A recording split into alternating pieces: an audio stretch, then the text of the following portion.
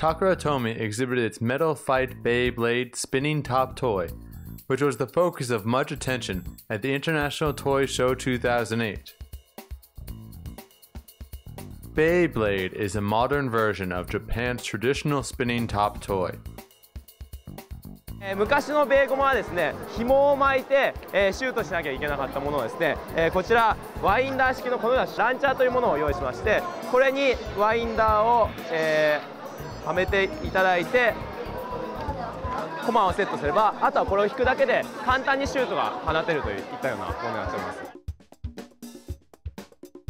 The Metal Fight Beyblade is a significantly powered up version of the Bakuten Shoot Beyblade. The Bakuten Shoot Beyblade stirred up a great deal of attention and was a major hit both in Japan and over 55 other countries throughout the world between 1999 and 2002, with over 60 million sold during that time. The new product, which is a first in four years, is designed with strong metal features.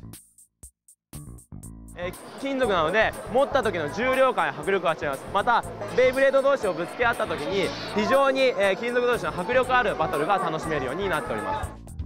the four layer structural parts of the main body can be switched out to easily customize the new Beyblade based on different strategies for attack, defense, endurance, and balance. The new Metal Fight Beyblade will go on sale on August 9th at a price of 1,554 yen. DigInfo News.